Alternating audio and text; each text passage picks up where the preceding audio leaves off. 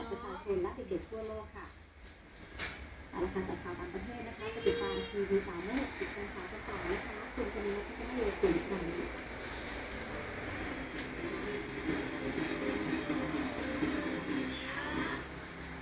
สวัสดีครับที่สามร้อยหกสิบองศาในช่วงเที่ยงวันในตอนวันนี้มีเรื่องของดอกไม้ของแม่แห่งดินครับอยู่ดีสามร้อยหกสิบองศาเริ่มแรกมีข้อมูลที่ไม่ค่อยจะชื่อดีนะครับ มีความเป็นไปได้สูงเลยทีเดียวนะครับที่ในอีก90ปีข้างหน้านะครับการขึ้นโลกแห่งนะครับนักวิทยาศาสตร์จากมหาวิทยาลัยวอชิงตันศึกษาพบว่าศตวรรษนี้เป็นศตวรรษที่อุณหภูมิโลก